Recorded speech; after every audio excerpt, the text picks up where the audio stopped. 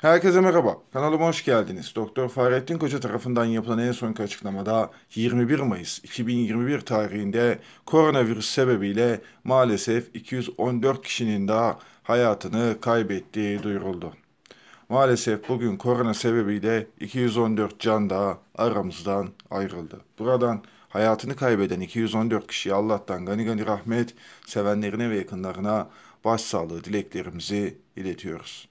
Bugünkü test sayısı 218.846, vaka sayısı 9.528, hasta sayısı 846, vefat sayısı maalesef 214, ağır hasta sayımız 1977, Toplam vefat sayımız ise 45.840'a çıkmış durumda 21 Mayıs 2021 tarihi itibariyle. Maalesef korona can almaya devam etmekte. Bundan dolayı sosyal mesafe, temizlik ve maske kurallarına uymaya lütfen özen gösterelim.